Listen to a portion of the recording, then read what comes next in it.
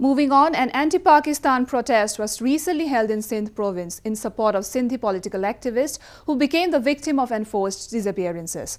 Activists have long accused Pakistani security forces of gross human rights violations against innocent Sindhi people.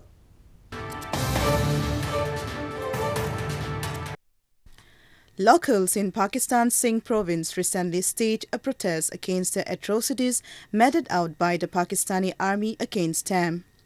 The protesters raised slogans blaming the security forces for enforced disappearances, torture and killing of political activists and other intellectuals in the province.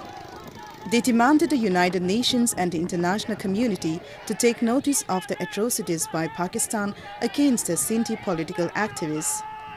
Activists have long blamed Pakistani forces of using enforced disappearances as a tactic to silence critics and instill fear. Since 2010, there have been over 1,200 cases of enforced disappearances in Sindh. Around 160 people have disappeared since February last year. The people who are enforcedly disappeared are mainly human rights and political activists or journalists who criticize government's policies and actions against Sindhi people.